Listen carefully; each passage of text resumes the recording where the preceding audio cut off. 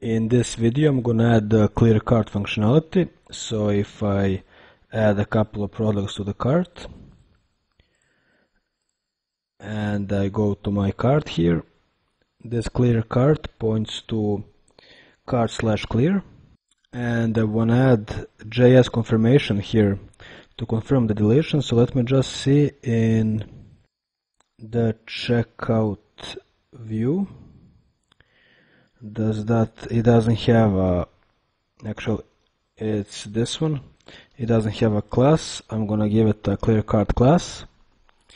And I'm also gonna have a script tags here because I'm gonna need that for the buy now button as well.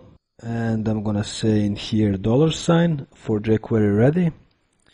And the function in here so I'm gonna say actually I'm just gonna copy from main.js let me just find it. So this one basically. Okay. Just that this is gonna be clear cart and I'm gonna add as I said the buy now JS here as well. So I'm gonna add the jQuery script to the header so from footer I'll get the jQuery script and paste it in the header. So here is good.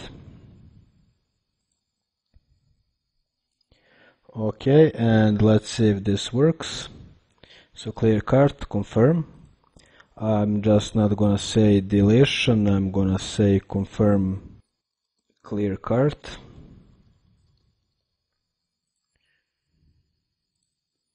Okay. So I need to go to that slash clear route. So in here I'm gonna copy this one and say get clear cart. And this is gonna say clear.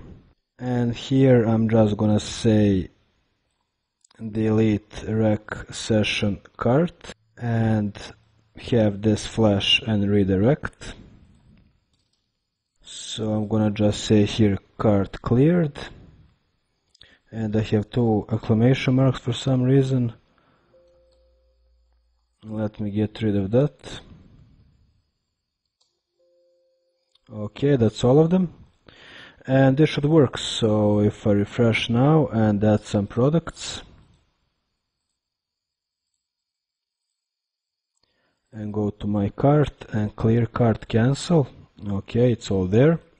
And if I say okay cart clear then your cart is empty and zero here. So it's all good. That's it for this video. See you in the next one